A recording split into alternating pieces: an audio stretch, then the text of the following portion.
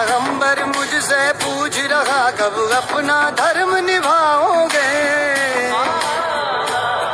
मैंने वचन दिया भारत माँ को, वचन दिया भारत माँ को, तेरा शीश नहीं झुकने